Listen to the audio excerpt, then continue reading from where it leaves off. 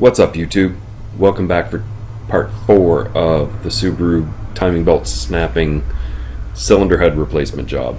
Um, I've gotten to the point where I'm ready to reassemble and I'm actually remaking the intro because I lost the last one somehow or something happened. I, I don't know. It's in another folder I can't find. so uh, just going to pick up where we left off from the last part and start putting it, reassembling the engine and um, cleaning, start cleaning up the, the actual block and remount the heads, get the intake back on, and pretty much prepped so that, that it can go back into the car. So when you're doing this kind of thing, you'd like to have the cleanest work area that you can, and I really don't. So the best thing you can do is just lay down fresh cardboard and, and use it to soak up any of the oil or coolant that might be coming out, uh, any of the dirt and dust that might be falling off. It'll just give you a cleaner work area. It's nice and soft and impressionable, so the the head's not going to get scratched or or you know dinged from hitting concrete. Because uh, I mean, you could literally lay down cardboard on the floor and do these do the same thing on the floor if you really wanted to. Um, so yeah, try and have as clean of a work area as possible. So I'll dig out the first head and lay it out see exactly what it is I have to swap over from one to the other because I really don't know I haven't unboxed it yet. So I'll uh, basically bring over the box and cut it open we'll see what we have. Okay, so I got one fairly large box. Uh, see what's inside here.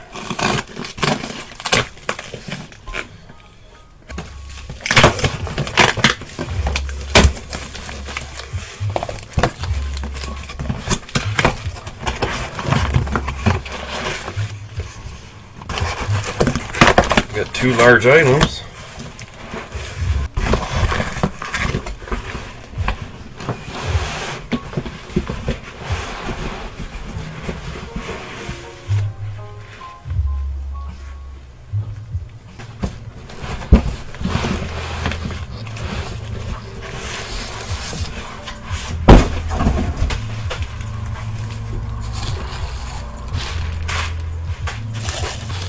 The one that we're looking for. It looks fully loaded and ready to go, which is kind of nice.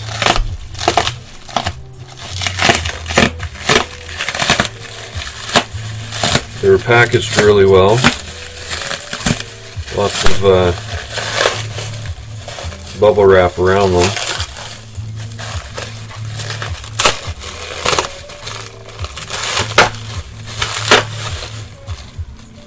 See a lot of some old hardware.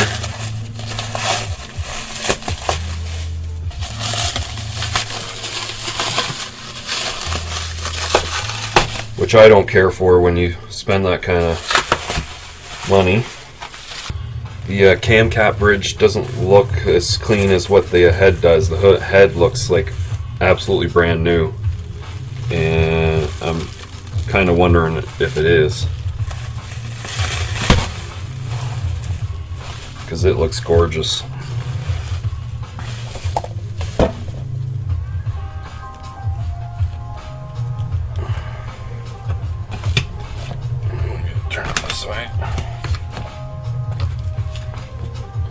It's a really nice cut. So it looks like all brand new valves. Really nice clean cut. Uh, the casting looks, I mean, it looks brand new. Uh, I'm gonna assume it probably is.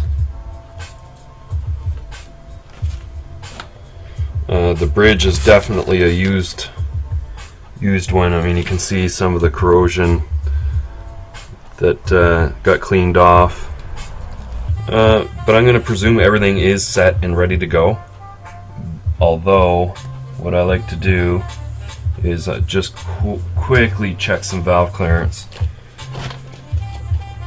and uh, make sure it's really close if not bang on because now's now's the actual time to do it so we'll go about checking the exhaust side first I got a 10 thou feeler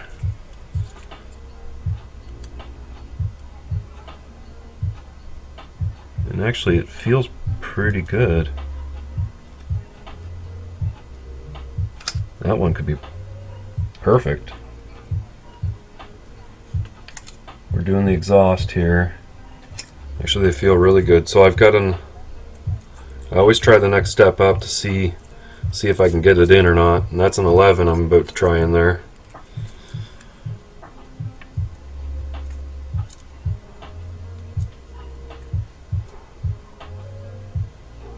Now the 11 actually goes in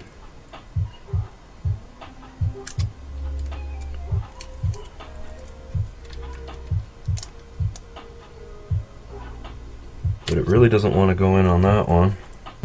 And it doesn't want to go in on those two so. So the spec is like pretty much 10 thousandths and it almost gives you one and a half either either way of clearance so. Even though the 11 will go into this one and I mean I gotta I gotta line it up absolutely perfect to get it in there. I'm gonna say that that one's still probably okay Let's try a 12.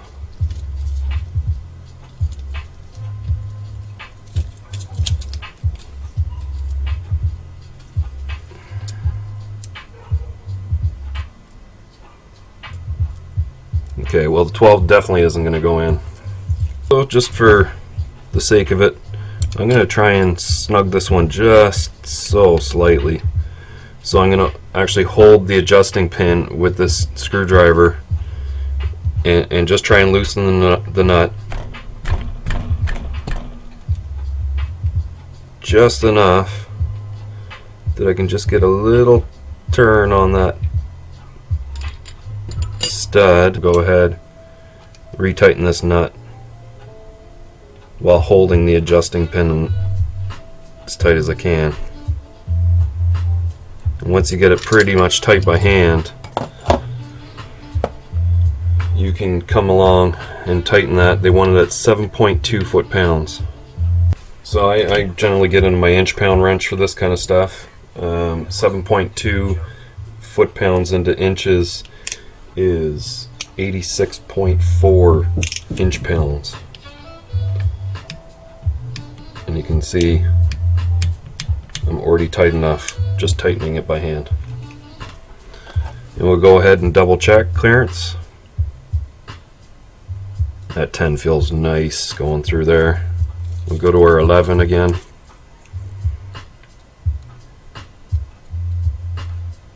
And the 11 does not want to pass in there.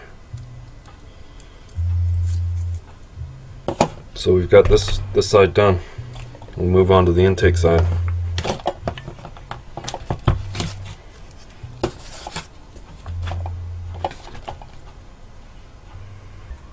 So there's a few things I need to cross over from one to the other and fortunately it's not the whole entire rocker set and camshaft and everything. Um, but I've got to change over this timing solenoid and all the everything going to it.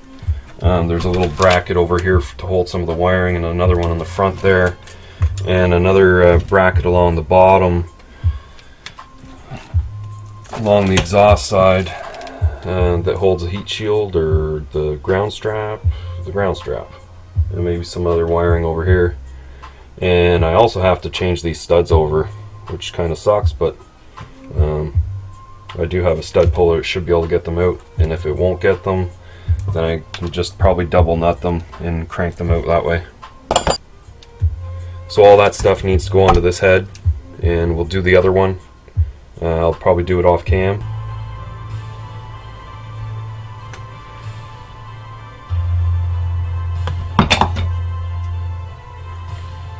both heads are prepared to install. Uh, checked valve clearance on everything. I've swapped off all the parts from the other heads and installed them on these ones.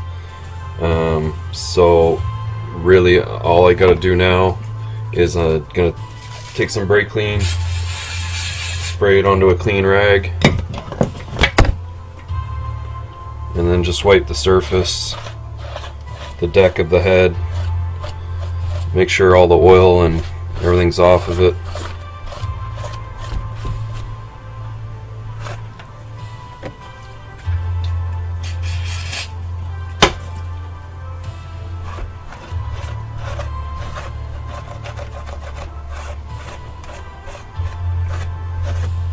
Now that I have those like that, uh, it's time to prep the block and get ready to install these. Couple things before we start. You, you want to make sure you haven't lost these uh, dowels. I don't think I've ever seen a pair of them come out, but it's something you definitely don't want to send back with your core returns and end up losing them. You need these to be in there, and uh, so definitely don't lose them. Next thing is this is what I use to clean up stuff like this. This is a yellow Roloc uh, bristle disc. Um, white is the the softest, yellow is the medium coarseness, and then green gets to the most coarseness. Uh, I like to use yellow. It's safe for aluminum, but you you can't really you can't work it too hard on aluminum. It will start to meld it um, and give you uneven spots if you if you start to build a little temperature with it. Uh, white is the safest to use for aluminum, but um, you go through the discs like in no time at all if you're using white. And generally green is for is for steel or cast.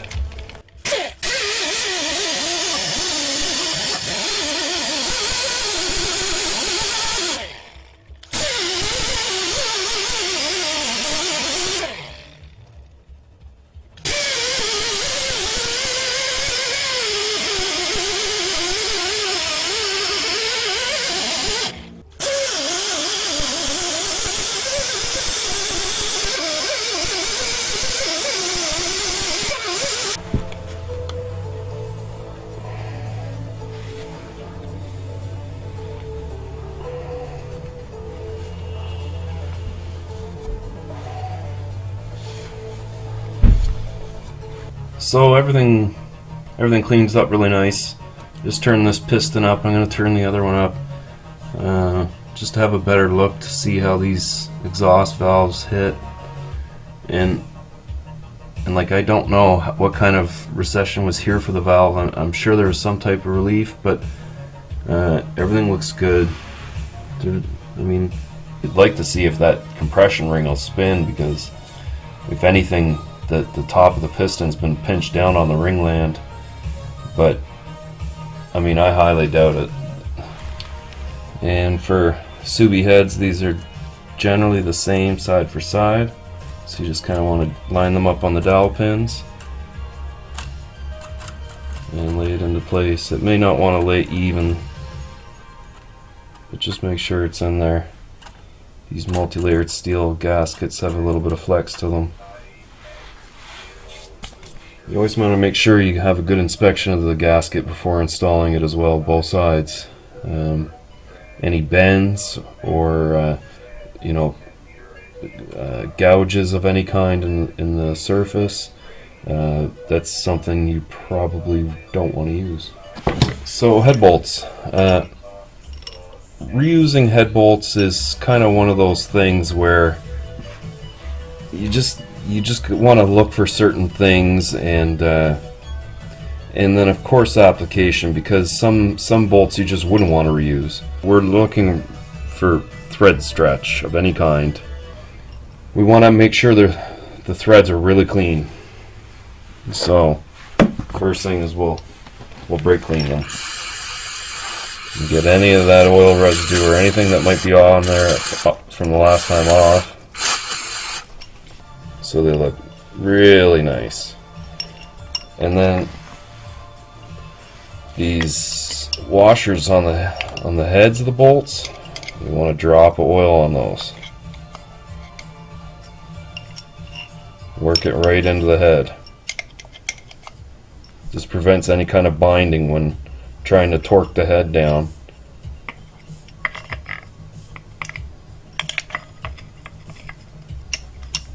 And then depending on application you might put oil on the threads you might not. But I generally put at least a drop of oil on threads. So when installing the head you just want to make sure you got a good hold of it and guide it around what you need. You don't want to be crashing into the gasket and get the top of it to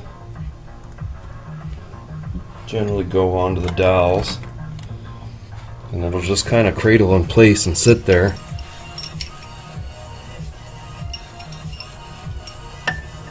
And allow you to start some bolts in it.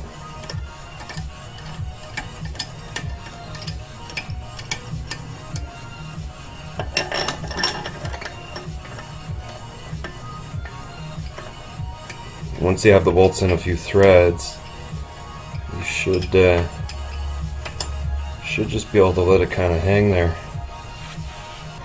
And then just slowly wind these bolts in by hand.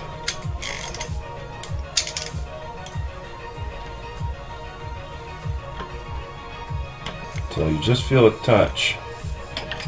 Then go with this one in the same. So our first first two passes, I guess, are you know pretty much seat the gasket. Um, then once the gasket's been seated, we'll back it off and go about the final torque sequence. So for first, they, they want 21.4 foot-pounds, which my half inch doesn't go down that far, so I got to convert it to inch pounds, which would be about 256 inch pounds. So we'll start the sequence, and this is A.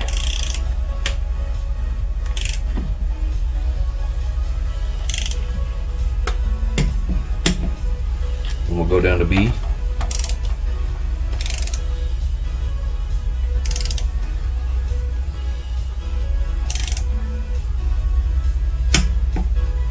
Up to C.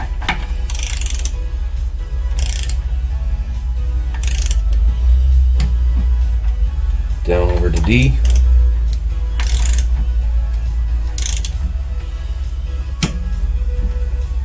Cross over to E.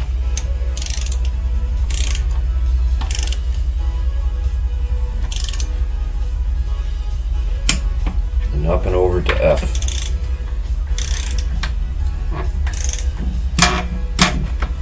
So the next pass, all bolts, is 50.9 foot pounds. But it's okay to go to 51. So we'll start with A.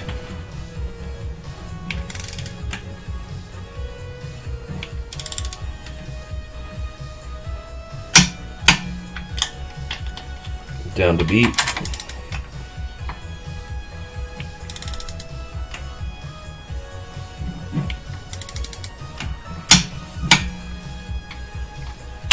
And over to C.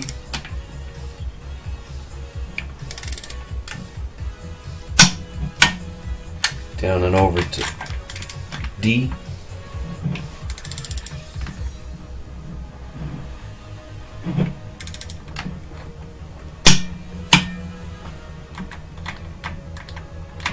Over to E.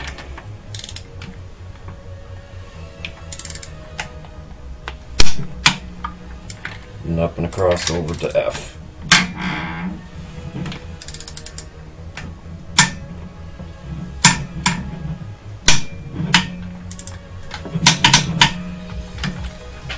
So the next step is actually to loosen everything. So you want to back off all bolts 180 degrees in reverse of the installation sequence. So starting with F and ending with A. Don't have a degree wheel on now because we're not too too concerned if it's 180. It'd be nice if it's bang on, but doing it by eye, if we start out here, then we're just gonna end up over here as best we can.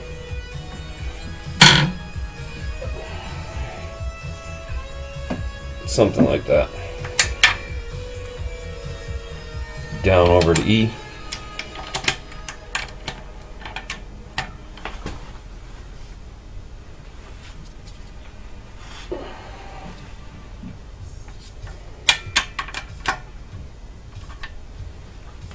crossed to D.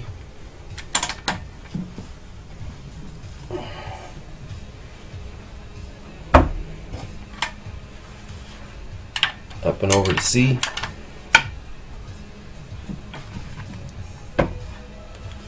Down to B.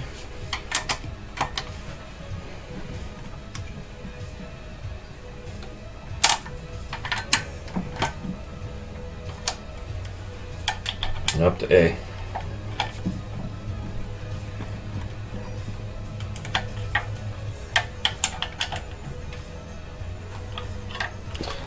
So within step four, we need to loosen them another 180 degrees each.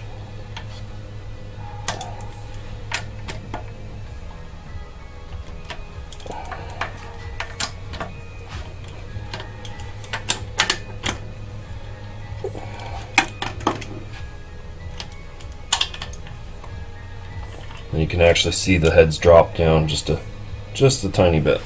Pass number five is retorque in sequence to 31 foot-pounds all bolts. Starting with A.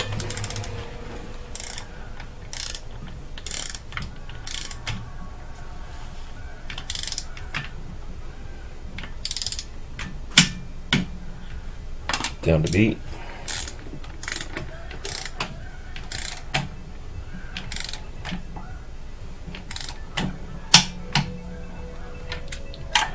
C.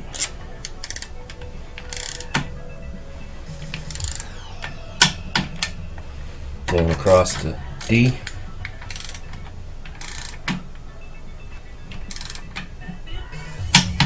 Over to E.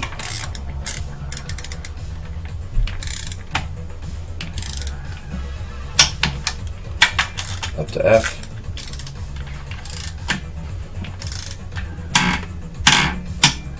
Don't mistaken the squeaking tightening noise for the click of the ratchet. So to proceed with pass number six, you're going to need one of these. Um, you can try and turn something 90 degrees or 45 degrees, but I highly don't recommend it uh, unless you're in a jam or you're you, you can you can ensure that you're eyeballing a, a 90 degree turn. Um, you can you can get away with it, but these have dropped so much in price. When I first got into the trade, I, I remember seeing them on the Snap-on truck for asking them, and they'd be like $89.95 or something like that. And uh, so I just held off and waited and waited, and then finally got this one online because I figured China was producing them, and uh, it. I mean, other than saying not saying Snap-on on it, it seems to be the exact same tool. And this is like twenty dollars to my door. So uh, it's a it's a tool that you can certainly have if you're doing a lot of engine repair. You uh, most of them require tightening by degree now, so uh, a lot of older engines only required having a torque wrench, but all this newer stuff.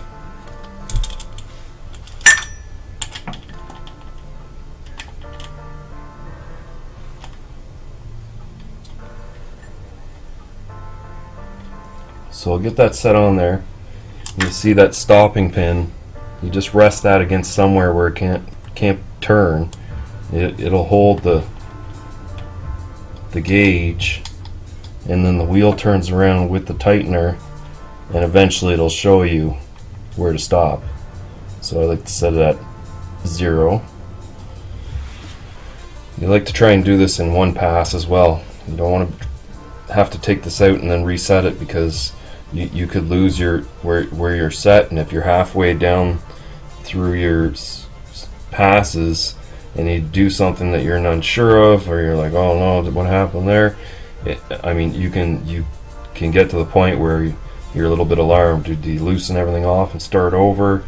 Is the is the gasket going to be okay? And so just uh, try and set yourself up that you can swing this the entire range that you need to so we'll start with A. I'm just using a power bar. No need for a torque wrench here. And then we'll just crank this to 90.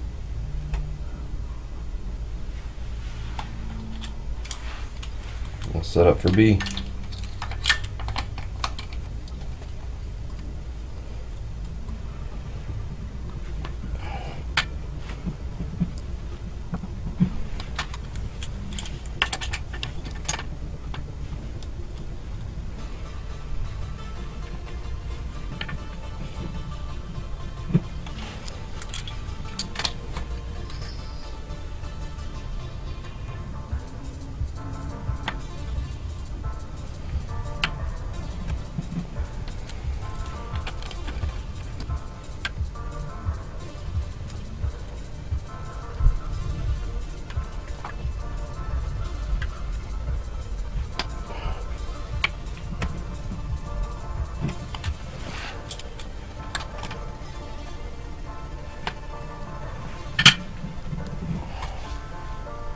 maybe I screwed up the pass numbers, but we're at number seven. So, uh, number pass number six is 90 degree, 80 to 90 degrees, all bolts within sequence. Pass number seven will be 40 to 45 degrees, all bolts in sequence.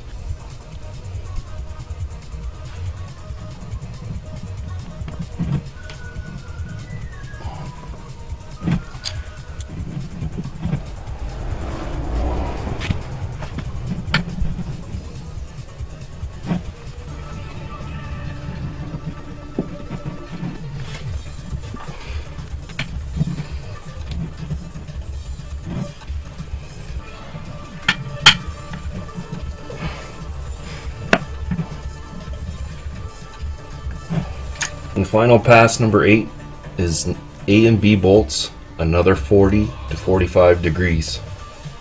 And here's where things start to get real tight.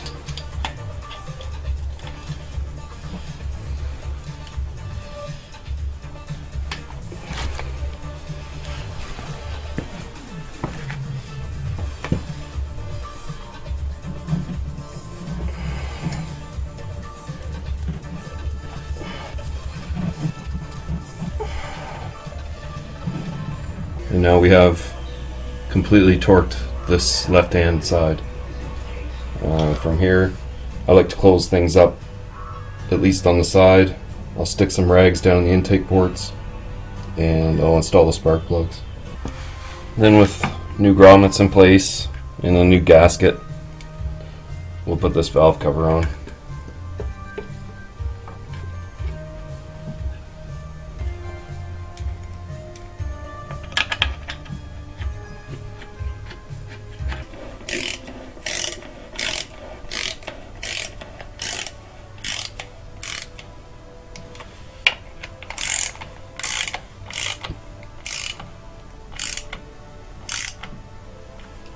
So we'll get this covered, torque down. Uh, it's 4.7 foot pounds. You do it in order A, B, C, D, E, F, and then you do A and B once more at the same torque. None of the others.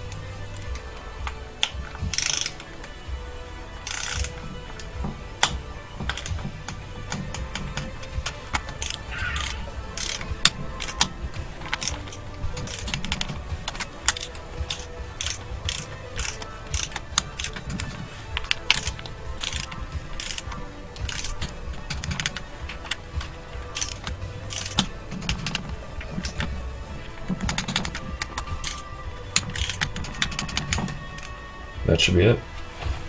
So we get some uh, NGK iridiums to put it back in.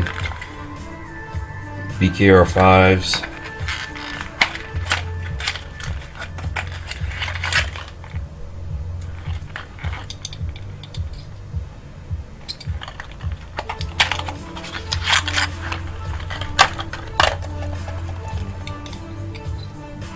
Gap out the box seems to be about 42. They last a long, long time, so.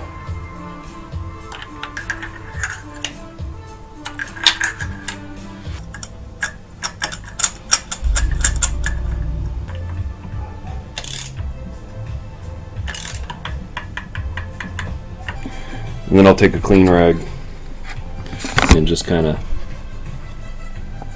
stuff it down in those holes just for now. Not to the point it's touching the valves, just resting there.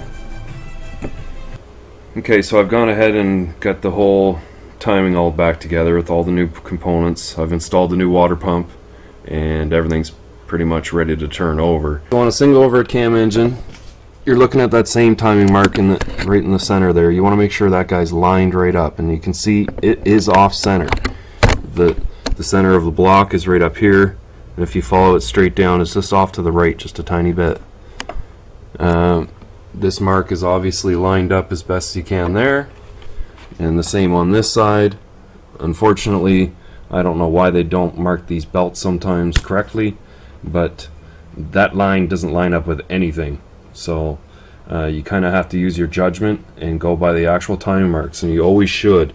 Sometimes be reusing a timing belt and it won't have marks on it anymore.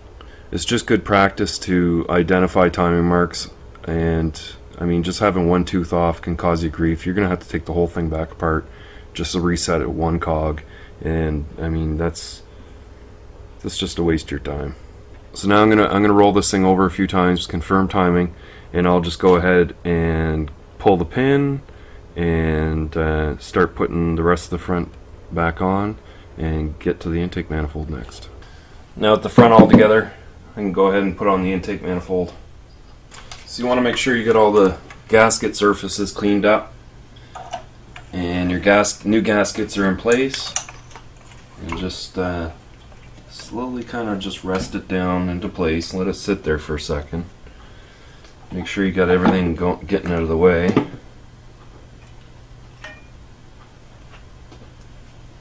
You can see it just needs a little push over that way a little bit. Just, just lightly lift it reposition. Grab a good light and look down the holes. See how close you are. Then once the intake's in place just go ahead and drop in all the bolts.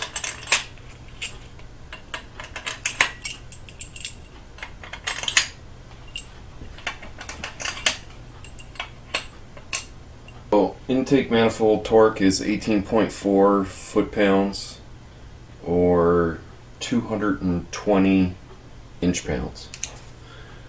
And I like to go from inside to out, crossing back over one side to the other.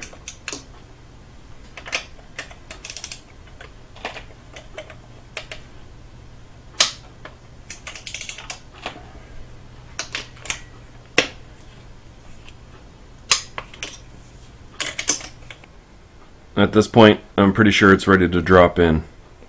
The intake's fully on, everything's plugged in, and I even had the throttle body off to just clean it right out. As you can see, I got the engine all slung up, and it's ready to go over into the engine bay and fall down into place. But I kind of run out of time, and, and I'm going to stop this video here. This will be the end of part four. Uh, just some things to note when I was turning over the engine while doing the time belt. Uh, it uh, felt like good compression because the spark plugs are in it and I could hear really good compression coming out of the exhaust. So um, I'm gonna assume it's gonna be a really good running engine and uh, you'll have to come back for part five and check out uh, the finalization getting it all ins- finalized installed into the car and turn the key and see what this thing runs like so yeah if you uh, like this video make sure to give it a thumbs up and if you haven't already, hit that subscribe button for me and leave your questions and comments further down below. I'll see you in the next one.